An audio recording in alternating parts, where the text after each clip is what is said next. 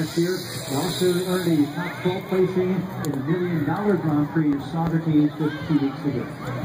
This is AJ.